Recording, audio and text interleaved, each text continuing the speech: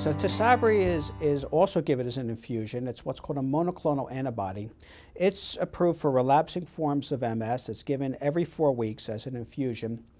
Um, has very good clinical trial data, which led to its approval. Um, and its major side effects are A, infusion reactions, and B, uh, infections, funny infections, uh, the most notable of which is something called progressive multifocal leukoencephalopathy, which is a mouthful, or PML. PML is a serious infection of the brain that was reported late in the developmental phase of, of, of Tysabri and now is being followed very carefully because the use of Tysabri is under, in the United States at least, under a controlled program where mm -hmm. everyone has to register and be kept track of. Um, the, figure for the incidence of, of PML is somewhere between 1 in 1,000 and 1 in 10,000 and it's still popping up about that range.